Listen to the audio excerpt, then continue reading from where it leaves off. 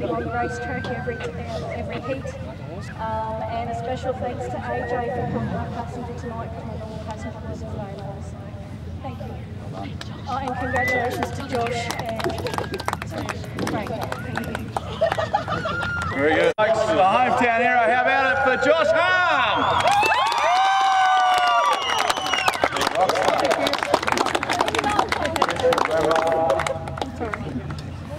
Well, I'm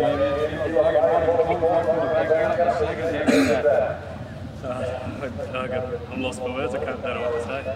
So big thanks for Josh for letting me drive his car. And Kay and David. And I hope I didn't look proud, even though it was in whole. I'm.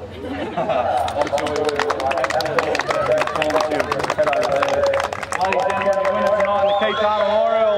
How about it for Frank Packer? With a sensational mode November too, I must admit. Frank, what a performance. That's two from two out here. You might like this place, eh? Yeah, it's funny because the last feature race was my first feature race winning out here ever. So that, out of 600 attempts or something, it's ridiculous. I'd, I'd like to uh, thank the club for putting on this um, Keith Harm Memorial. Uh, I've known Keith pretty well for the last couple of years, and I must say that every time you go through the pits, the guy would always say good no, matter what he was doing. He was one of the best blokes. He was the best bloke in, um, in the pits at any time. And Shirl and all the Harm boys have all been round us tonight and uh, all shook our hands, and it's been really good.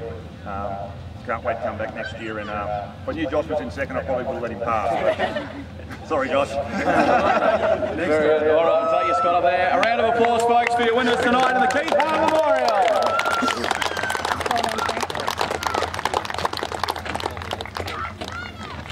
We might move in a bit closer. Can we? Can we... Put your passengers yeah. up here.